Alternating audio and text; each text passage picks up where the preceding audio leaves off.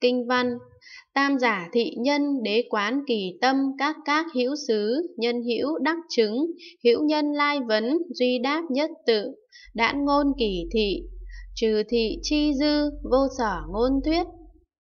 Việt dịch ba là người ấy quan sát chân xác tâm mình thấy hết thảy mọi thứ đều hiện hữu, có, nhân nơi cái có mà chứng đắc, nên khi người đến hỏi, chỉ đáp một chữ có, ngoài chữ có ra, không nói gì khác. Giảng trong loại lý luận điên đảo cản loạn thứ ba này, ba là người ấy quan sát chân xác tâm mình thấy hết thảy mọi thứ đều hiện hữu, có, anh ta tự quan sát vào sâu trong tâm mình và thấy 12 loại chúng sinh đều trải qua chỗ có sự sinh tử này, nhân nơi cái có mà chứng đắc, nghĩ rằng mình có sự chứng đắc từ nhận thức về có. Thực vậy, anh ta chẳng chứng được quả vị gì cả. Trong kinh chỉ nói để mô tả sự nhầm lẫn của anh ta mà thôi. Hành giả quan sát các loại chúng sanh rồi nói, à, toàn là có cả.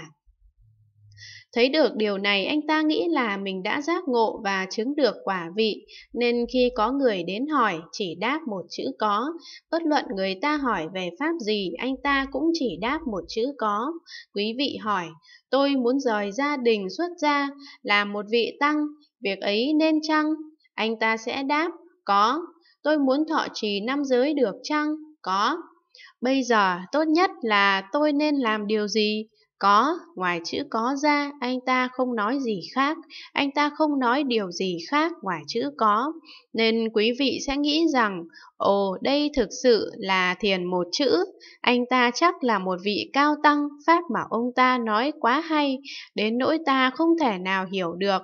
Nó hay chỉ vì quý vị hoàn toàn không hiểu được nó, chẳng hạn như bây giờ, nếu quý vị hiểu được những gì trong kinh mà tôi đang giảng cho quý vị nghe, thì điều đó chẳng hay tí nào cả, quý vị có thể nói.